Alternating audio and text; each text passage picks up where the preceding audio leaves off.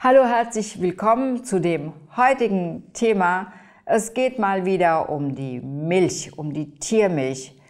Und zwar deswegen, weil mich eine E-Mail erreichte von Professor Bodo Melnik. Ich gucke jetzt ab und zu mal hier auf meinen Laptop, weil ich nämlich von ihm einen Artikel bekommen habe, der am 9.4. in die Welt veröffentlicht wurde. Und das ist natürlich ähm, unglaublich. Es scheint sich jetzt doch was in Richtung, dass man ähm, Milch in Frage stellt, zu bewegen. Und ich möchte euch einfach daran teilnehmen lassen, weil ich fand es unglaublich gut. Es ist ein Interview mit ihm. Professor Bodo Melnik ist Professor für Ernährungswissenschaft an der Universität Osnabrück und ist ähm, Allergologe und Dermatologe. Und er wurde von der Journalistin ähm, Elke Boderas befragt. Und sie hat richtig gute Fragen gestellt, aber viel faszinierender finde ich die Antworten, weil es geht der Milch wirklich an den Kragen. Ähm, es gibt ja auch die Meinung mittlerweile von Professor Zurhausen, das habt ihr wahrscheinlich auch gehört, dass er sagt, dass Milch ähm, möglicherweise in den Exosomen, das sind so kleine Transportbläschen, hochgefährliche ähm, kleine viralen Bestandteile in sich tragen, ähm, die später dann in Form von irgendwelchen Erkrankungen ausbrechen. Also eigentlich kann man sagen, es ist ein hoch explosiver Stoff, die Milch. Und es wurde ja und wird größtenteils immer noch geleugnet. Aber ich habe mir das mal so überlegt, wenn ich, wenn ich darüber nachdenke, wie selbstverständlich Milch als ein gesundes Nahrungsmittel angeschaut wird und das wird ja eigentlich gar nicht hinterfragt, finde ich, es wird absolut Zeit, dass zum Beispiel die Welt jetzt titelt, Milch ist ein hochbrisanter Cocktail. Und das war doch mal ganz spannend, ja. Ähm, sie fragt dann, wie Milch soll gefährlich sein? Das ist doch, das klingt doch fast schon lächerlich. Und dann sagt er, naja, das ist einfach über alles andere als läch lächerlich, sondern ähm, es ist eine hochreaktive Substanz, die die Natur nämlich dafür entwickelt hat, dass unsere Säuglinge und auch die anderen Säugetiere, dass die heranwachsen. Und dazu braucht einfach natürlich jede Art der, des, der Lebewesen eine bestimmte Zusammensetzung. Das ist schon mal das eine. Und dass es eben nur in der Zeit ist, solange gesäugt wird, weil die Milch enthält Stammzellen, jede Menge Eiweiß, unterschiedlich. Die Muttermilch hat zum Beispiel viel weniger Eiweiß als die Kuhmilch, ist ja auch ganz klar. Die Kühe wachsen schon ein bisschen schneller als wir.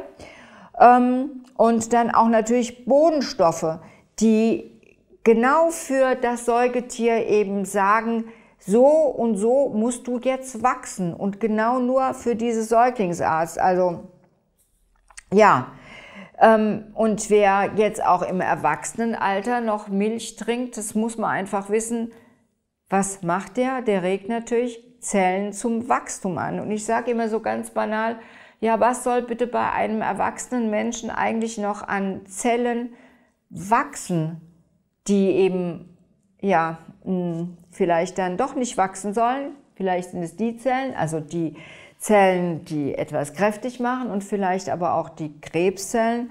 Und da hat er ähm, ganz klar auch eine Stellungnahme dazu gehabt. Der Herr Professor Melnik, ein im Übrigen wirklich sympathischer Mensch, Vielleicht kann ich ihn ja mal einleiten, um mit mir ein Interview zu machen. Wenn ihr daran Interesse habt im Übrigen, dann würde ich mich total freuen, wenn ihr die Daumen nach oben gebt, ähm, weil Petra Bracht im Gespräch mit Professor Dr. Melnik oder mit Professor Klaus Leitzmann oder sowas, könnte ich mir vorstellen, wäre vielleicht auch interessant. Also, er sagt auf jeden Fall, ähm, beim Säugling ist das Wachstum lebenswichtig, beim Erwachsenen dagegen sind die Substanzen, die zur Vermehrung anregen oder mit Gen ähm, interagieren, mit Vorsicht zu genießen. Und jetzt kommt's.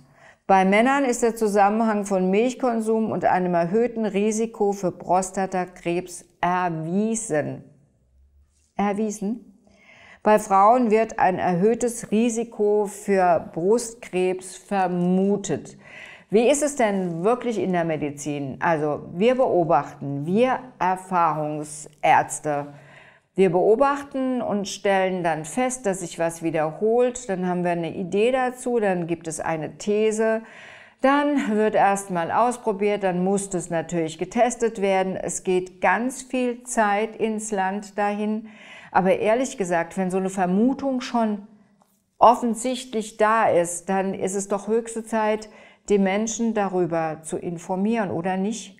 Also für mich ist es ganz klar, und wenn man sich überhaupt mal so diese, diese Zusammenhänge anschaut, ähm, dass es eben Krankheiten sind, die immer mehr auftauchen, dass immer mehr Milchprodukte gegessen werden. Also für Krebsentstehung ganz, ganz klar ist es, das ist ein multifaktorielles Geschehen. Aber wenn Milch und Milchkonsum, also die Ernährung von eben diesen Nahrungsmitteln dazu beiträgt, dann ist es doch vielleicht ein leichtes, die einfach zu meiden. Und für die Männer ist es doch wie wunderbar, das einfach wegzulassen, weil vielleicht bekommt ihr dann eben keinen Prostatakrebs. Es braucht keiner und ich würde es auch einfach nur unterstützen, darüber nachzudenken, ob man vielleicht diesen einen Risikofaktor dann beiseite lässt. Ja, ähm, dann geht es darum, warum denn die Menschheit lebenslang auf die gesunde Milch schwört. Ja, da sagt Mandy ganz einfach, weil wir darüber einfach gar keine Forschung gemacht haben, weil ähm, es war immer ein wertvolles Nahrungsmittel mit unglaublich vielen Bestandteilen, die ja in bestimmten Situationen auch durchaus mal hilfreich waren, wenn es eben nichts zu essen gab, dass man dann die Milch benutzen konnte, um sich zu versorgen, aber gesund war sie nicht. Und er sagt, dass man molekularbiologisch eigentlich erst tatsächlich seit ein paar Jahren forscht und eben auf diese Ergebnisse auch gekommen ist. Und das ist natürlich schon auch so eine Geschichte, die ihr mal wissen sollt, weil heutzutage Erfahrungen und Beobachtungen als was Gesetztes in die Medizin zu geben, ist nicht so sehr erwünscht. Es sind immer diese ganzen evidenzbasierten Studien. Ach so, nebenbei nur mal für euch.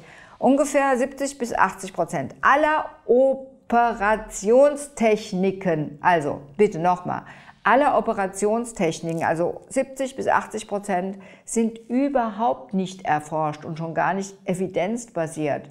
Und sie werden durchgeführt, ausgeführt und so weiter und so fort. Also, dass ihr einfach mal auch so, so eine Diskrepanz seht in dieser ganzen Studien gehypten Medizin. Also, da wäre ich auch so ein bisschen ähm, zurückhaltend. Ich finde Studien, gute Studien, Meta-Analysen finde ich schon richtig gut, weil die geben Sicherheit, die geben dir Sicherheit, die geben auch mir als Ärztin Sicherheit. Aber es gibt so unendlich viele kleine Studien, vor denen ich einfach nur Angst habe, weil ich weiß nicht, warum die überhaupt gemacht wurden. Also von daher, wenn Studien, gute Studien, Meta-Analysen und unabhängige Studien. Und dann können wir sicher sein. Aber trotz allem haben wir Menschen ja tatsächlich auch ähm, die Fähigkeit zu beobachten. Und wir haben beobachtet, dass Milch nicht gut tut. Und ich habe das bei mir in meiner Praxis tatsächlich oh, gesehen, schon seit 30 Jahren so oft. Einfach das Meiden von Tiermilchprodukten und die Menschen werden gesünder, gerade was Akne anbelangt, was Autoimmunerkrankungen, Allergien anbelangt. Und ich bin mir sicher, dass es auch mit anderen Krankheitsbildern in Zusammenhang zu sehen ist. Also eben gerade die beiden, die ich angesprochen habe, weil es ist ein schon Drüsensekret, was da eben auch verabreicht wird. Und deswegen ist es mit durchaus mit Genuss, äh, nee, nicht mit Genuss, sondern bitte überhaupt nicht zu genießen. Sorry, da habe ich mir einfach versprochen. Also, ähm, dieser Artikel geht noch viel, viel länger weiter, aber ich wollte euch erstmal wieder so ein bisschen, ja, was wollte ich euch? Einfach so ein bisschen aufmerksam machen für dieses Thema, dass ihr, dass ihr nicht einfach sagt, ach, was ein Blödsinn, es ist doch so gesund. ist es nicht. Und ähm, auch, auch im Übrigen, wenn ihr jetzt sagt, ja dann wenigstens Biomilch. Natürlich ist Biomilch von der Qualität her besser als jetzt einfach diese äh, Milch, die aus Massentierhaltung gewonnen wird. Nichtsdestotrotz ist auch in dieser Milch befinden sich ebenso diese Exosomen, die Transportbläschen, die dieses hochbrisante Material eben in den Körper von uns Menschen bringt. Und ja, dass wir das nicht brauchen, wisst ihr, und dass wir andere Möglichkeiten haben, um unsere Stammzellen zu aktivieren, habt ihr auch schon erfahren. Da habe ich auch schon ganz viele Videos dazu gemacht. Und ähm, es geht einfach darum, dass wir durch, durch diese Milch, durch diese Säuglingsnahrung tatsächlich immer nur in unseren ganzen Genen ähm, genau die Gene aktivieren, die zum Wachstum anregen sollen. Und wir bremsen die Gene, die eben das kontrollieren. Und das kann im Alter einfach nicht gut sein. Natürlich, natürlich kann man jetzt sagen, hat was mit der Dosis zu tun. Definitiv. Aber die Mengen, die an Milchprodukten hier verzehrt werden, in diesem Lande, man muss einfach nur mal gucken, wo Milch überall verarbeitet wird, ist definitiv, definitiv viel zu viel. Um eben auf Nummer sicher zu gehen, würde ich euch empfehlen, das so gut wie ganz zu meinen. Oh oh, ich weiß, dieses Thema, es ist ein Thema, das immer die Gemüter hochschlagen lässt und ähm, lässt. Und wenn ihr vielleicht euch mal diesen Artikel dann anschaut von Professor Melnick, dieses Interview aus der Zeitung Die Welt, aus der Zeitschrift, dann geht unten, wir verlinken es euch, damit ihr das alles nachlesen könnt und macht euch eure eigenen Gedanken dazu.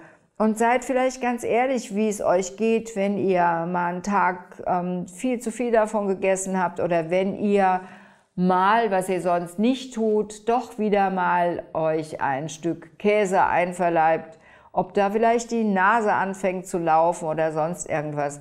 Seid ganz ehrlich zu euch. Ja, probiert es auch wieder aus. Ich sage immer, ähm, Probieren geht über Studieren und es ist tatsächlich so, weil wenn ihr das fühlt, dann fühlt ihr es eben. Ja, also jetzt bitte vielleicht auch den Daumen nach oben. Das freut mich, ihr wisst es. Kanal abonnieren. Ähm, eure Fragen zum Thema Milch. Es gibt so viele Sachen noch dazu zu sagen.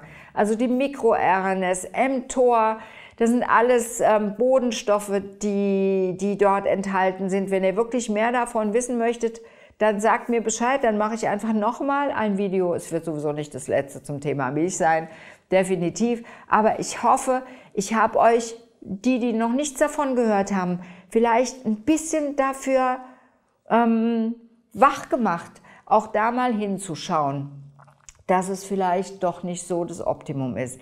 In diesem Sinne wünsche ich euch jetzt na, eine super tolle Zeit. Genießt das schöne Wetter dort draußen. Seid gut zu euch, zu eurer Gesundheit und ich freue mich bis zum nächsten Mal. Tschüss!